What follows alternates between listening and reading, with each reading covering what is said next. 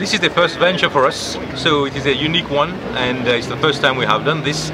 So uh, we will assess how this uh, program works. I am sure under the leadership of the Vice Chancellor and the uh, and the Directorate of this university, I believe this will be an asset that will be very well used, and uh, we look forward to uh, churning out of more and more engineers out of the university, which will assist in in the development of aviation of Kenya and even Africa. So uh, as we go along, we will assess it, and with the increasing success, then we will consider how we progress and how we expand the collaboration. Uh, 20 to 30, 25 to 30 students in a year. If you multiply that by five, we are looking at a possibility of up to how many? 150 students on the Bachelor of Engineering program.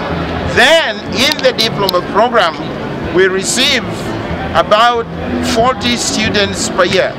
The diploma program runs for three years, so that gives you another 120 students.